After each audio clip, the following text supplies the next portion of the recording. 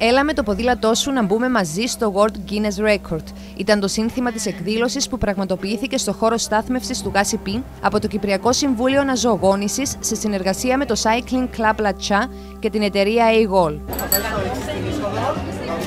Το σκοπό της εκδήλωσης ανέλησε ο πρόεδρος του Κυπριακού Συμβουλίου Αναζωογόνησης, Μάριος Ιωαννίδης.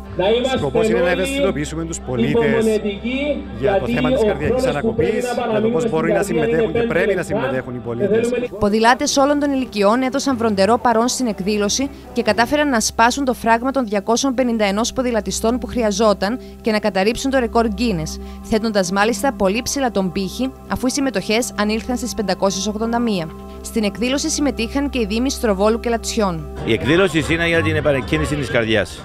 Γι' αυτό και είπα ότι υποστηρίζουμε και θα υποστηρίζουμε συνεχώς. Η σημερινή εκδήλωση αποσκοπεί και στην ευαισθητοποίηση του κοινού σε θέματα ανακοπής καρδίας. Η άθληση είτε μέσα από ποδήλατο είτε οποιαδήποτε άθληση είναι σημαντική. Να σχηματίσουμε την πιο μεγάλη καρδιά με ποδήλατα. Σπάσαμε το ρεκόρ ήδη. Στηρίζουμε την όλη προσπάθεια για να ευαισθητοποιήσουμε τον κόσμο. Ήδη έχουμε ξεπεράσει τον αριθμό των ποδηλάτων που έπρεπε ε, να έχουν μαζευτεί για να δημιουργήσουμε τη μεγάλη καρδιά. Να δείξουμε στον κόσμο ότι πρέπει να κάνει εξετάσεις για την καρδιά του. Εχθάμε εδώ όλοι μαζί για να φτιάξουμε την πιο μεγάλη καρδιά με τα ποδήλατα. Η συμμετοχή του κοινού ξεπέρασε κάθε προσδοκία, ενώ οι διοργανωτές εξέφρασαν αισιοδοξία και για μία θέση στο ρεκόρ Guinness.